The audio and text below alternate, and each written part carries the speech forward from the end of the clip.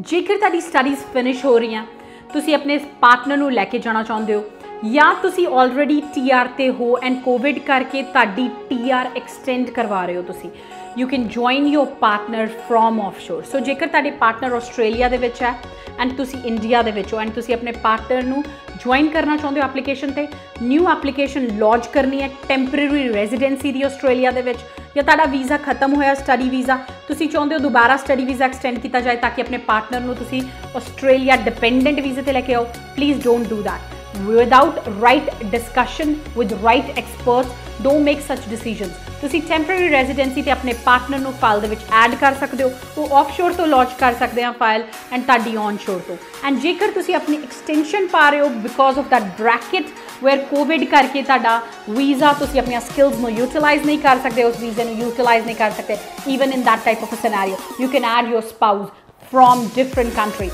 so out of the migration zone cho tusi apne partner nu add kar sakde so this is a very important information. jekar tusi apni trd file bare kuch bhi vedeeri jankari lena chahunde please call on the helpline of CAAN World the numbers given below on australian numbers or you can call us on indian number as well. With this thank you very much and you have a great day. Good luck. Sashikal